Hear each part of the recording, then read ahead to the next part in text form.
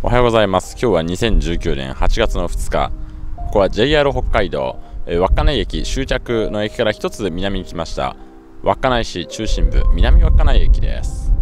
あそこに止まっております列車はこの南稚内駅に併設されている車庫から一旦稚内駅に行ってそしてもう一度ここに戻ってきてお客さんを乗せます。今の時間は午前5時をちょうど回って少し経ったところかな。午前5時5分ぐらいかな。本日は宗谷本線の始発列車で南下え今日の行程は宗谷本線を200キロほど南に登りましてえ最終的には旭川の少々を北ピップというところを目的地とします。なんで旭川の目前まで行っといて旭川に入らないのかまあ、それは大体ねあの泊まれるところの都合でございますんであのそれはまたその、えー、それぞれその局面において皆さんにお話しします。で今日からは一気に移動距離が長くなります、えー、駅の中入りますか。駅はいないのかな。多分ね朝の始発列車からお客さん乗る人はいっぱいいると思うんですけど稚内駅から来るんだろうな。列車発車まであと4分。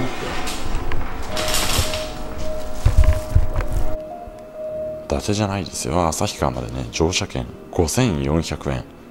ものすごい値段です。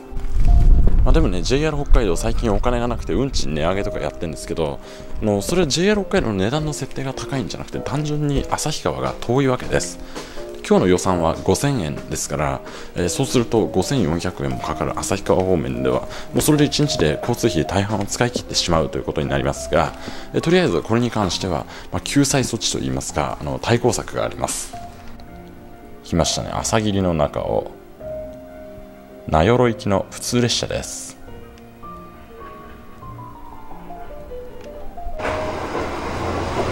この列車は新幹線で昔使っていた座席を車内に装備しているから快適です。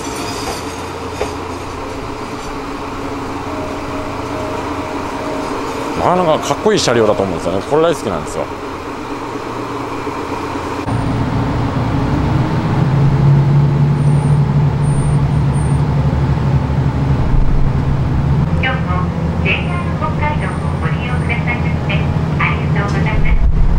夏の時期はね、まあ、大体この普通列車かなり混むんですけど今日は運よくガラガラです。なんでですかね、前8月乗った時なんかもう座席がほとんどね半分ぐらい埋まってたわけですが。旭川までの通常運賃は5400円ですがこの切符を買えば相当安くなります。青春18切符冒頭のオープニングでもご紹介したと思いますがこの切符は1万1850円で JR 全線が5日間乗り放題となる切符です。この5日間というのは任意の5日間でして7月の20日から9月の10日までの5日間のうち好きな日付を5回選んで使うことができます。本日がその5回目のうち1回目本日は8月の2日です。これでですね押しますとその日1日 JR の普通列車全線どこまでも乗り放題となります。金額は1万1850円ですからこれを5で割れば2370円ということになります。JR には特急列車も数多く走っていてこの宗谷本線でも半分が特急列車特に長距離の移動であれば特急を使わないとかなり時間がかかりますが青春18切符の利用者には特急列車等の利用は許されていません。もちろん新幹線も利用できません。新幹線などを利用する場合には、えー、これら普通乗車券普通列車に乗ることができる切符に加えてえ特急券、えそそういったまあ新幹線特急券とかそういうものが必要なんですけども、えそういったものをプラスで買っても乗ることはできません。つまり普通に改めて全部お金を払わなければいけないので青春18切符のお客さんは本当に完全にこの通常普通列車を乗る以外には選択肢がないのです。その代わりとんでもなく安く普通列車であれば乗ることができるというわけでして、えこの切符が利用できるときにはこの宗谷本線も数多くの人たちが利用しています。あでも間違えた。あのね普通列車ではもっと安い乗り方があったんですよ。忘れてた。あのね、えー、青春18切符じゃなくて北海道東日本パスってのがあるんですけどそれ買えばね1日あたり1600円ぐらいで、7日間とか乗れるんですよ。うわやっちゃいましたね。どうしようかな。まあいいや。でもあの今日はとりあえずもう列車に乗っちゃったんでこれを使う機会にはありませんがあの明日以降またどこかの駅でね、えー、北海道の東日本パスというのを買ってそれを使うことにしましょう。で私の大学は9月いっぱいお休みなわけですが青春18切符は9月10日までしか利用期間がありません。すなわち9月11日から9月30日までは何かこの安い切符に頼らず別のものを使わなければいけないというわけでえその時に備えてお金をある程度貯めておかなければこの旅はもっと苦しいものになると思われます。南稚内駅と次の抜海駅までは十数キロ離れていたと思いますがその間日本海が美しく見えるところがあります。残念ながら今日はね天気を予報では晴れということだったんですけどちっとも晴れておりません。晴れていれば向こうに利尻島利尻富士が非常に美しく見えるんですが何も見えません毎度この区間を通るときは大体こんな感じですけれども、まあ、また次に通るとき見えればなと思います。あそこに縦札だけ利尻富士と立っていました。また札幌周辺を除いて北海道のローカル列車は冷房がついていません。扇風機だけです。でも必要もありません。今の気温は多分20度台前半だと思いますんでね全くなくて構わないしもし暑ければ窓を開ければいいだけのことです。今日のお金の残りですがもう早速少なくえ半分なくなってしまいました。2520円。普通列車やっとさっきの南稚内の一つお隣バッカイに着きました。ここまで12分。これだけ駅と駅の間が空いているということです。今過ぎ去りました。豊臣は特急列車も止まるところ家も数多くあります。これはかなり数多くある方でしてこの近くに豊臣温泉という有名な温泉があります。日本最北の温泉と呼ばれえなんていう泉質だったかな忘れましたがあの非常に皮膚病に効果があるという成分の濃いえ鼻をつくような独特の匂いのする温泉です。今回は立ち寄ることができませんが非常にいい温泉でして視聴者の皆さんにもおすすめいたします。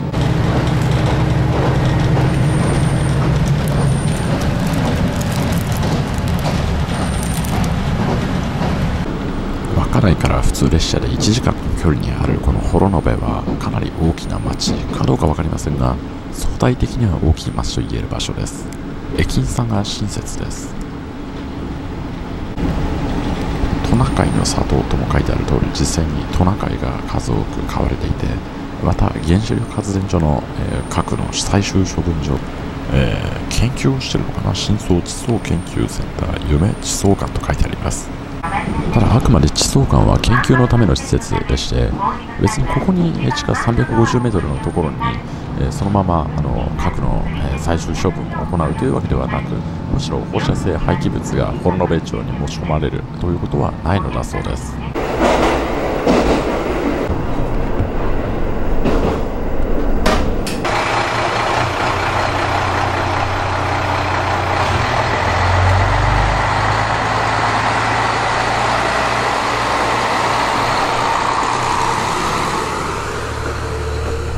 南稚内から85キロほどかけてやってまいりました、えー、所要時間は1時間40分。宗谷本線のぬかの駅で降ります。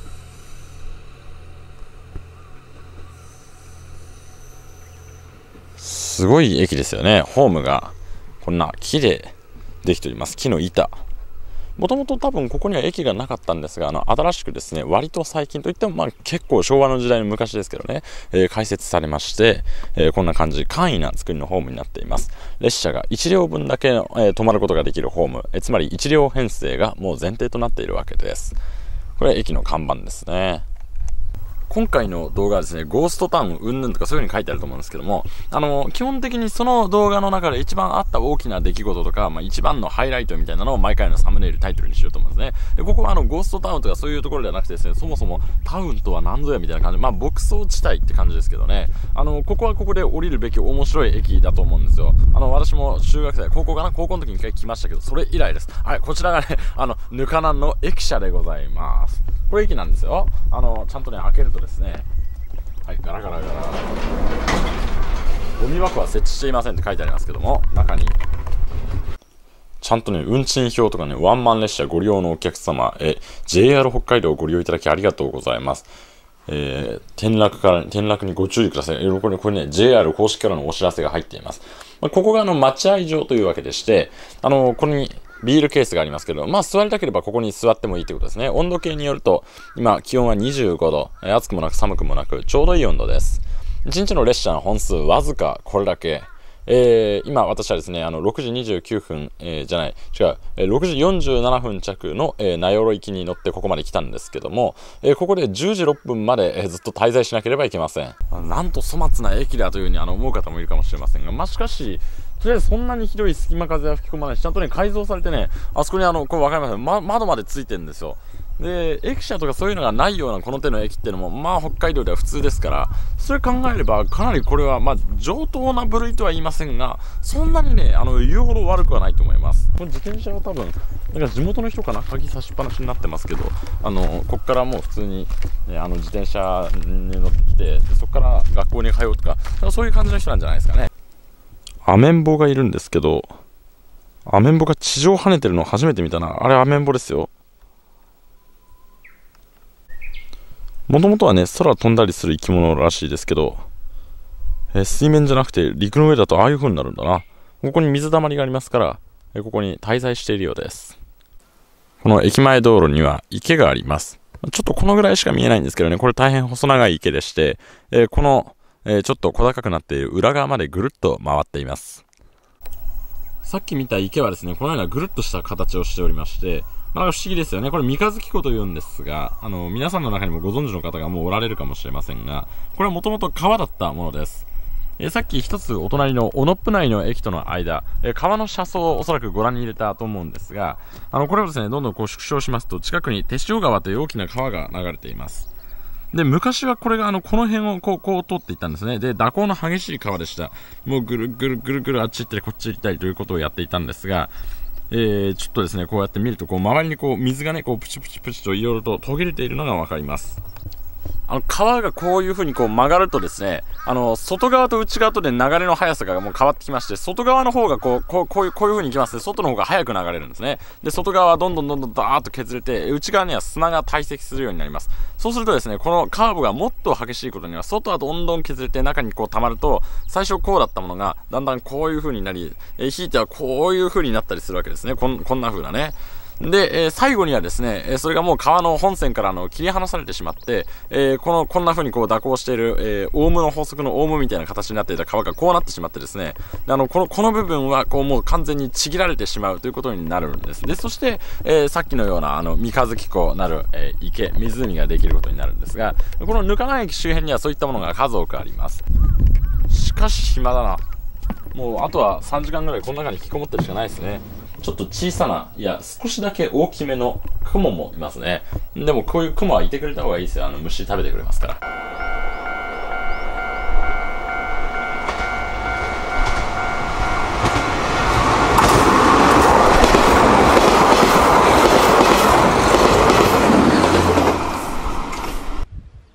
たぬきさん、たぬきさん、遊ぼうじゃないか。こんな歌ありましたね。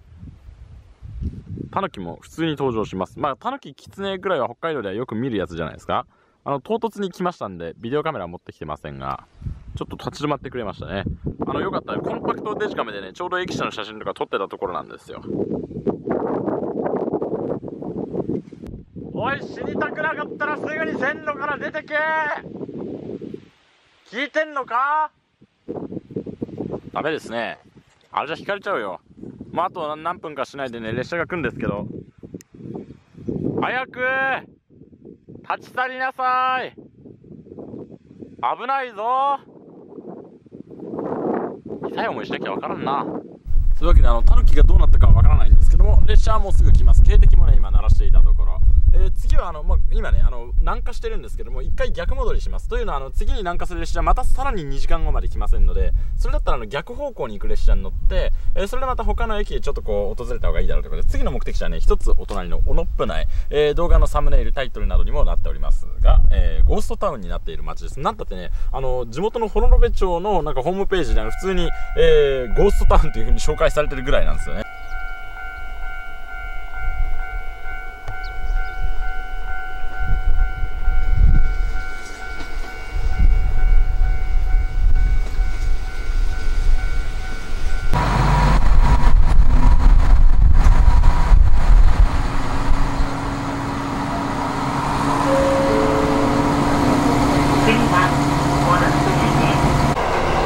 次のオノップ内に着くまでこトイレを済ませておかないといけませんあの、まあ、モノップ内にもトイレあったと思うんですけど汲み取りだと思いますのでそれはちょっと嫌じゃないですか、まあ、列車のトイレも一応あの定義上は汲み取りトイレなんですけどかなり綺麗です。電気移してもいいですか？なんかあのトイレ移すと苦情が来るもんですけどよく掃除されてるから大丈夫だと思うんですよね。これこれですね。はい。ヌカナン駅と、えー、オロップ内駅の間はねこのように鉄塩川のギリギリ崖の上を走って、えー、単純にただ乗るだけでも景色のいいところです。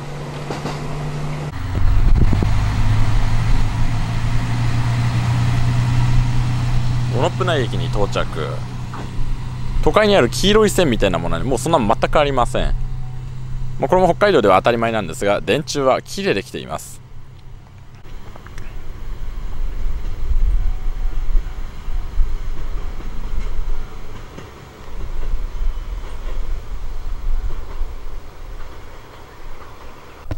この駅も相当古いです。後でじっくり見てですね交通チャンネルの方に動画出しておこうかなと思うんですけど。動画のテンポも大事なんでねあんまりこの駅自体に事細かにこだわるのもまあどうかなと思いますので、まあ、こんな感じでねで、えー、オノップ内の駅は結構昔からあったやつでして、まあ、さっきのぬからん駅と比べたらもうまるで違う立派な感じですよね。しかも昭和の駅なんかあの裸電球なんかがですねこれ今もつくのかな？夜にここに来たことないんで分かんないですけどこんな感じ。え非常に味のある駅です、まあ、中はですねあの虫の集会場みたいな感じになってますがあっち側は綺麗。まああのそういうのくわ、えー、詳しく知りたい方はしばらくしたら交通チャンネル出ますんで見てください。で、えー、この駅の周りにはですね昔あのそこそこ大きい規模の、えー、町がありました。まあ、現在も町はあるんですですけれどもあの町自体は存在してるんですがあの人はどうもいないようでして、えー、全て廃屋になっているんだそうです、えー、つまりこれがゴーストタウンというわけですこれ歩道なんですけども、もうこんな感じですね、全部草に支配されておりまして、まあ、ここにちょっとなくはないですが、まあ、あまり歩きたくなる道ではないですよね、だからあの車道のこの、なんですか、側路帯みたいなところを歩かざるを得なくなっています。これはすごいな。これはあ窓ガラスのところをこう打ち付けてあるからもう中も見ることができないですけどいつまで使ってたんだろうなもともとは何か商店か何か商売をしている建物だったみたいですねこれを見るにと思ったらね、入ったらね、書いてあった。あの、ちゃんとこんなマークまでついてですね、えー、竹内商店だって。この屋根があったからか、しっかりとあの、守られておりまして、結構綺麗。おお。この他の山田マークというものかな、えー、その下を見るとですね、オロナミンシードリンク、大塚、えー、製薬炭酸飲料、こっちはコカ・コーラ、こういったものが裏からこうちらっと見えて、何を売っているお店だったのか、なんとなくね、こう、まあ多分、あの、簡単な雑貨とか飲食料品とかだったんだと思いますけど、うーん、なんとも、寂しくなる雰囲気です。小野っぷ内ではですね、いろんな建物が軒を連ねてて、まあ、ここが今の竹内商店ですけど、この隣のここもね、なんかあの、建物があったらしいんですけども、もう完全に、えー、取り壊したのか、潰れてしまって、その上に植物が覆われてるのか分かりませんが、あ、ここも門構えだけ残ってるまさにこれぞ漢字の意味通りの門構えって感じですね。もう本当に入り口のところだけ、傾いた家なんていうものではないですよ。北海道は雪の重み、えー、それから寒暖の差、そういったものでかなり家が傷むのが早いので、このような木造住宅は人が住まなくなり、手入れがなされなくなると、もうあっという間にこういう状態になってしまうようです。ただこれは、あっという間という立ち方ではないな。もう相当立ってるでしょうね。周りの植物の生え方も相当です。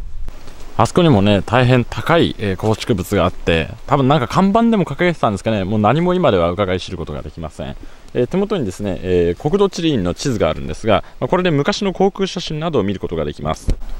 今ね、駅から100メートルのこの辺りにいるんですけど、ここを1974年頃の、えー、地図合成してみますね、えそういう機能があるんですが、これです。今、この辺、反対側を見ると、全部このようになっています。もはやね、ゴーストタウンとか、あの、家が壊れてるとかいう状態ではなくて、ほぼ自然に飲まれてしまっていて、えそこに人の営みがあったことすら伺わせなくなっています。まずですね、あの、ここに歩道があるんですけども、もうわかんないですよね。ここにあったんですよ、確かに。さっきもね、ご紹介したからわかると思うんですけど、もうこのように完全に草で覆われてしまっています。その奥の、あの、実際にこう土が生えてきてる、あそこら辺ぐらいからは、あの、家の敷地とかになっていたんではないかと思うんですが、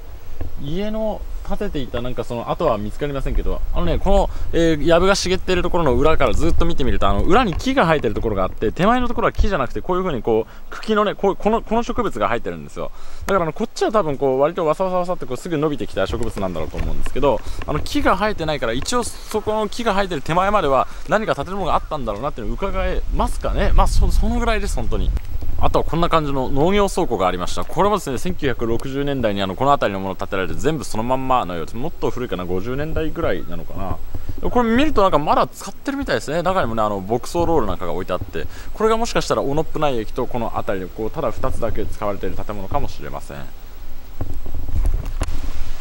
さっきのぬかなん駅はまだね、もともと大して何もないようなところに駅作ったんですけども、あのここはそうではなくて、あのちゃんと街があったところ、そこもね、全部家が並んでたんですよ。あの今2軒だけあの残ってるようにね、見えますけれど、あの全部こう地図でね、見てもらったから分かると思うんですけど、その駅の脇まで家あったんですよ。全部もうなくなっちゃいました。そういう感じのところですんで、逆にこう、それが全部この植物に埋もれてね、少しこう怖いなとまで感じるぐらいです。ここにゴミ収集ステーションと書いてあって、これは今でもやってるんですかね。収集されるゴミはきっと一向に集まらないことでしょ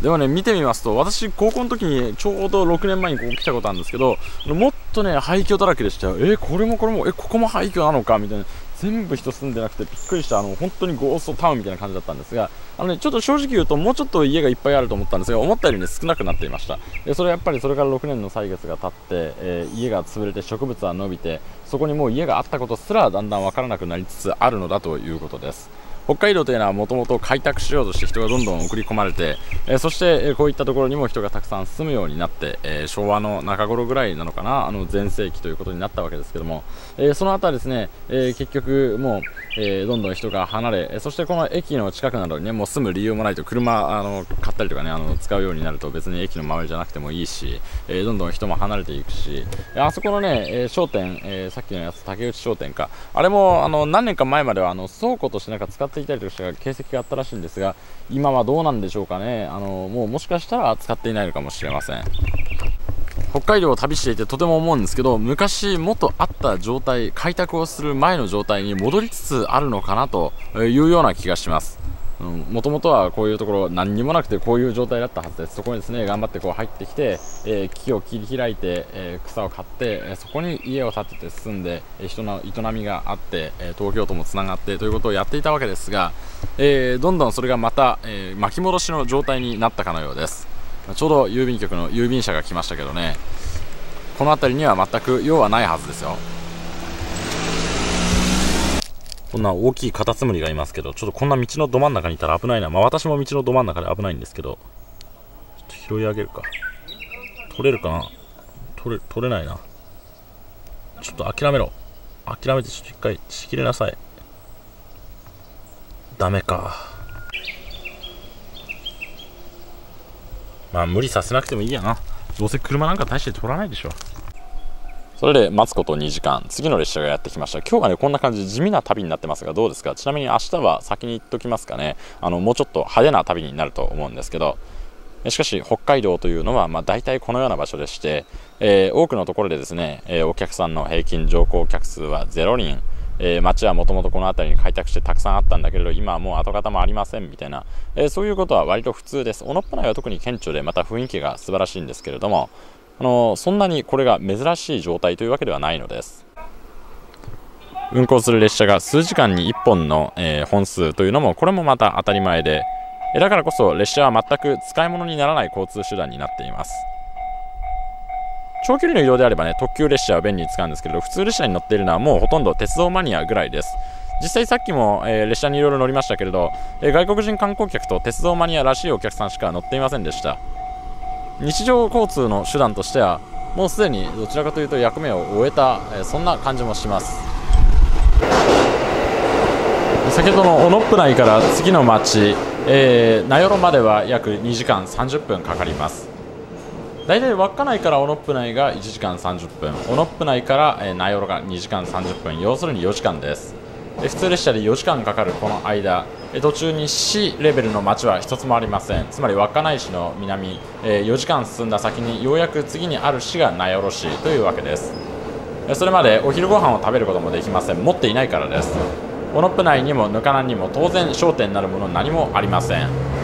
これはあの当たり前で分かっていたことであり。だから私も朝早くあのご飯がちゃんと食べられるようにと、えー、セイコーマートで昨日の夜のうち買い物を済ませておいたのですが。ただお昼ご飯のことまでは考えていませんでした。まあ朝ねあの食べるものを用意しておいたおかげで、え、昼食べなくてもまあ昼ぐらいなら1食抜けてもいいかと思えるわけですけれど。北海道でこのようなことをやっていると、え、食事が、え抜けるということはよくあります。ちょうど今ここも今川幅がどんどんですね削れてきてあちら側には砂が溜まっており、え、この蛇行もいつか相当長い時間を経た、え、私たち全員が死に絶えた末に、え、また三日月湖として取り残されることと思います。列車はもうすぐ音威熱風村の中心駅音威熱風駅に着きます。この駅のそばはそばの実をそのまま潰し真っ黒な色をしていることで有名です。ちょうどお隣のホームに JR 北海道が最近 JR 東日本と力を合わせて頑張って運行しているイベント列車が止まっています。今日は運転の日ではありませんが何かの練習かとりあえず止めてあるだけか風っ子宗谷号という車両です。お客さんは全く乗っていません。まあ営業運転ではないからね。これがそうです。本来は JR 東日本の持ち物ですが JR 北海道に貸し出され北海道の振興に頑張っています。窓枠がはめ込まれてるけど本当はねあのこの窓枠も取っ払って普通の、えー、トロッコ列車として運行することができるのです。だから窓がありません。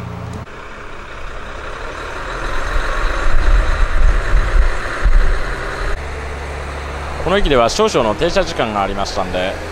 風っ子宗谷号が動く姿を見ることができました。というかちょうど出ていったんですね。いや感動的だこんなところでこれが走るとはね。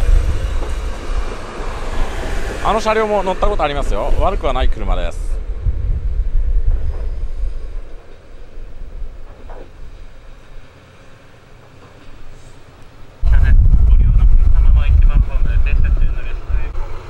音威熱風駅の停車時間は3分です昔はね5分ぐらい止まったもうちょっと止まったかな。そうするとここでそば、ー、を食べ食べるというかですねあの買ってきて持ち込むことができたんですが3分では無理です。残念だ。お腹も減りました。もうちょっとだけ我慢します。あと1時間少々。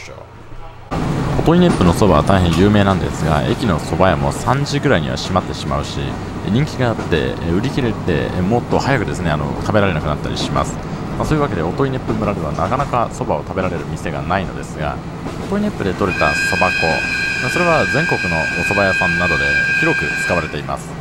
良質なそば粉だそうです。多分ね音威ネップ村自慢のお蕎麦はこれだと思うんですけどもそこら中に白い綺麗な花が咲いております。列車の左側だけではありませんよ。右側には人がいますから映しませんが両側に開いた白い花畑が広がるようになりました。今日も JR 北海道をご利用くださいましてありがとうございました。名寄市名寄駅に到着。200キロほど南下してきました。かなり暑いです。南下したから暑いというよりもこの辺りが盆地でして、えー、それでもあの夏はですね暑く冬は寒いという大変な気候になっているのですそれに対して稚内は意外とあの夏は涼しいし、えー、冬はですねあの海流の影響であまり温度が下がらない。だから風は強いんだけれどもそんなに過ごしづらいような場所ではないという認識です。稚内の人も大体そう言います。あの列車に乗ればすぐ旭川行きの快速列車になりますので、え乗り換えてスムーズに行くことができますがもうちょっとねお腹が空きましたので途中下車。名寄の名物はもち米です。実はここはあの全国屈指のもち米の産地であります。あの普通の食べるお米の産地ではない。いや多分それも作ってると思いますけどね。名寄駅はこれですね。なんか綺麗になったような気がしますね。前はねもうちょっとこちら赤いのが名寄駅なんか随分綺麗になったような気がします。前は随分雰囲気のある駅でした。で駅自体は別に新しくなってないんですが塗り直したんですね、えー、ちょうどコミュニティバスの来ましたけどこの名寄駅で1時間30分時間があります。あの前にもですね一度来たんですがあの名寄にはイオンモールがありまして、えー、そのイオンモールであの名寄の名産のもち米使ったのお餅大福食べられるんですね。あのそれ以外はね逆にあのもち米を使ったものはあの名寄では手軽にはあの駅周辺では食べられないそうです。で、えー、そのイオンまではあのちょうどですね1時間あれば行くことができます。ちょうどいい観光です。ここに徳田線と書いてあって、えー、これが市内を循環して、まあ、これ黄色いラインがありますけどね、これを一方通行で循環しているわけです。で名寄駅を、えー、っとですね14時、えー、58分に出るバスがあのイオンモールまでですね17分かけて行きます。でイオンで25分止まった後もう1回ぐるっと回ってこの名寄駅まで戻ってくるんですね。イオンでバスが25分止まってる間にあのパッと買い物して戻ってくれば大福餅ゲットというわけなんですがあのバスに乗るわけですからねバス代が当然かかります。そうするとあの予算あと2500円ぐらいしか使えないのにねあのバス代だけで随分かかるじゃないかということなんですけどバスはね確か1回乗るのに200円か300円かかかるんですね、えー、結構大きいですがあのワンオンカードを持ってる人はねただで、ね、乗ることができますのであの名寄であのイオンに行くときはね絶対ワンオンカード持ってきた方がいいですよ。あのワンオンっていうのは私はあの全然ポイントも貯めておりませんけどもあの作るのにね300円ぐらいかかる。ではっきり言って還元率も悪くその300円を回収するために、えー、1万5000円だかなんだかね相当使わないと3万円だったかな。あの WAON のその発行の分も回収できないんですよ。じゃあんまり嬉しくない。のですがあの WAON を、えー、ただで作る裏技というのもありまして、えー、藤田観光グループのポイントカードをですねこの間作ったんですけどもあのワシントンホテルグループの、ね、系列のホテルですが、えー、そのポイントカードを作ると頼みもしなくても WAON カードがついてくるんですよ。でそれはお金かからないんですよ。だからただで WAON を発行できる、えそれから他にも、えー、JAL マイレージ、バンク、え日本航空のマイルシステムのですねポイントカードを作るときに、え WAON 付きを選択することができましてそれもお金かかりません。あのただで WAON 作ることができます、まあ、そしてただで WAON 作ってただでバス買って、えバスのバス買えませんね、えバス乗って、えそれでイオンモールで餅を食べる。いや、え名寄の観光はこれで決まりだと思います。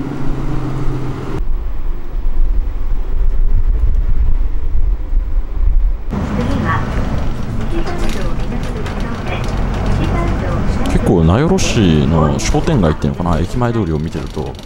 なかなかシャッターに閉まってなくてねシャッター通り商店街が今では問題になってるけれど元気な街のように感じます。もう朝からね、え2つで140円のパンしか食べてませんのでお腹が減ることしょうがないんですが、まあ、あのとにかくねいろいろ大福とかあのエネルギーになるものは買いましたんで安心です。列車に乗ったら食べたいと思いますそれからあの飲み物ですけどね、えまあ、食べ物はなくてもなんとかなんですが今日は高温注意情報が出るぐらいのねとんでもない暑さということですがあの朝虫の知らせで南稚内の駅で、えー、水を1本買い出しておいてよかったですね。あれ買い出さなかったらちょっととんでもないことになってたけど列車の中で、えー、干からびることはなさそうです。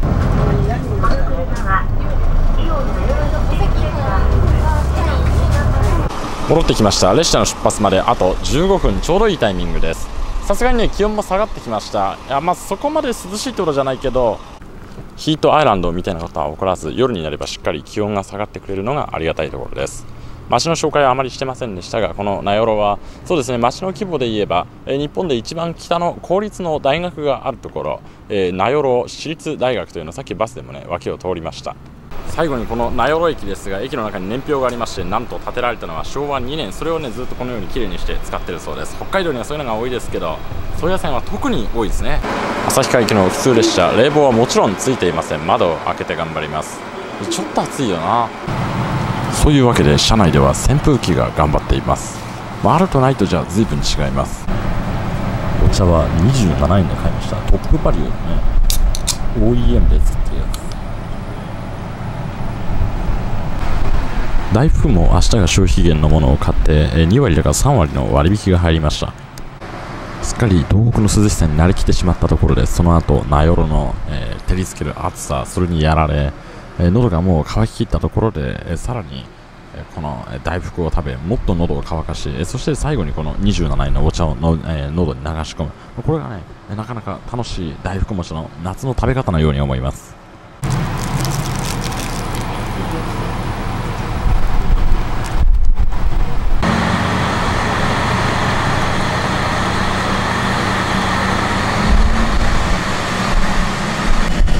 大福餅だけ買って帰ろうと思ったんですけどももう1個面白いものを見つけたので、えー、これも買ってしまいました。200円ぐらいしましたけどね、えー、もち米で作った甘酒名寄のもち米です。調べたらね、えー、名寄はもち米の作付け面積が日本で第1位だそうです。1位だとは知らなかったそうだったんですね。いや前は知ってたような気がするんですけど忘れてました。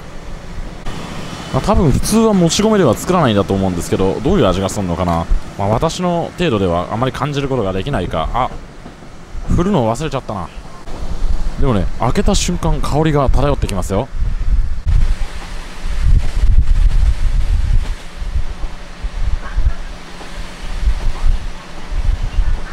うんあのね飲んでみましたけどね結構ドロッとした感じで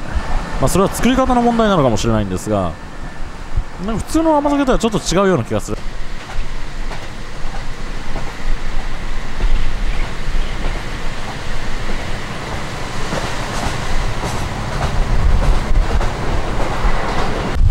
この列車ね普通列車ですけれど駅を今から通過しますよ。こんな風にね普通列車っていうと全部の駅に止まるもんだと思ってる方がいると思うんですけど、まあ、実は必ずしもそうではなくて特に田舎に行くとこういう風に走る普通列車が数多くあるのです。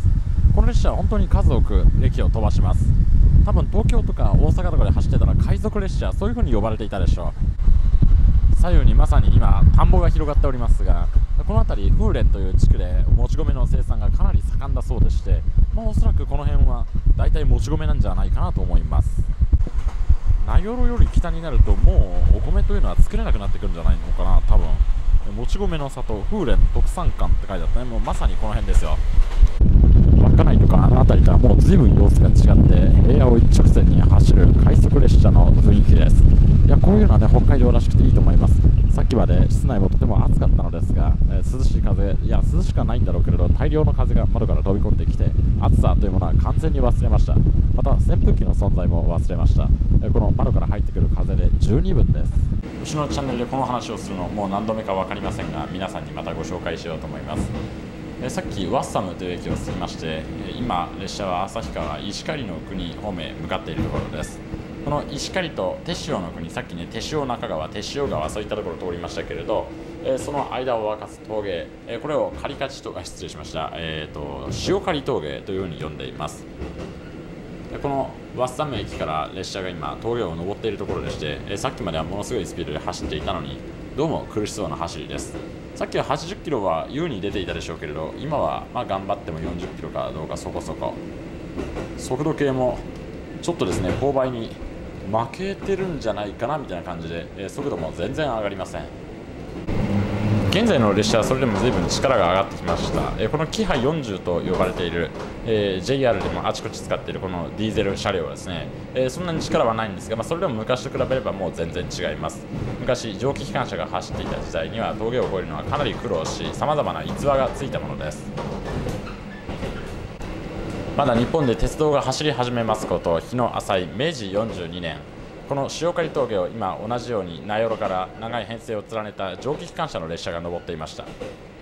今回は1両ですが、まあ、長く後ろに車両をつないでいてでその一番後ろの車両が当時の連結機はまだ性能がまた悪かったので坂を登っている時に外れてしまいました。今はこの車両ディーゼルカー自身がエンジンを持って自分で坂を登っていますが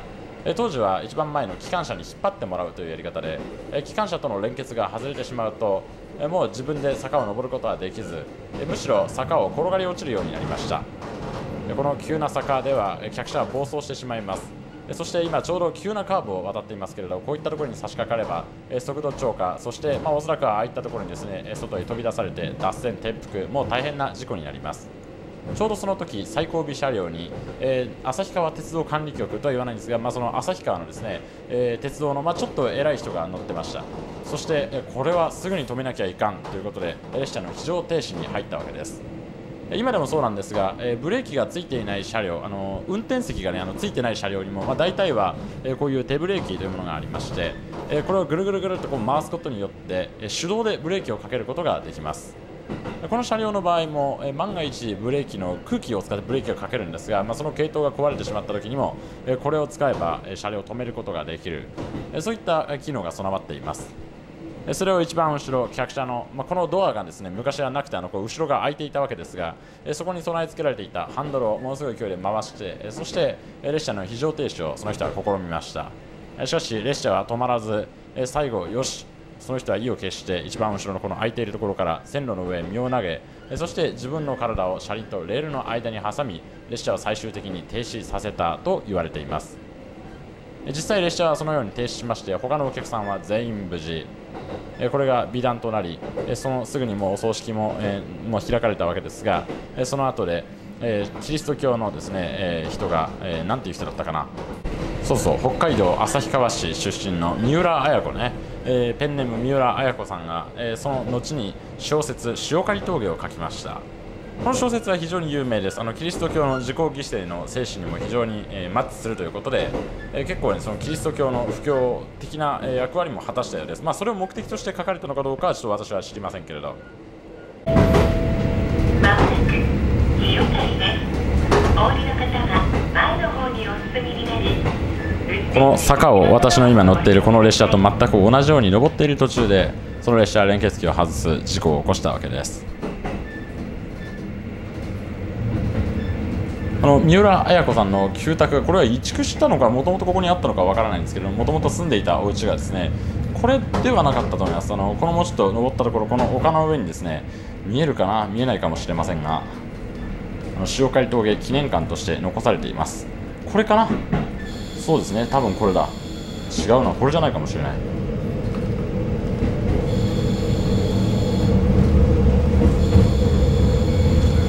塩刈駅も非常に古く大正時代だったかな。それぐらいの頃に建てられた古い駅舎です。もともとここに駅はありませんでした。事故当時はここは何もない。ただの峠の一番上の地点。その後になってここに信号場その後駅が設置されたのです。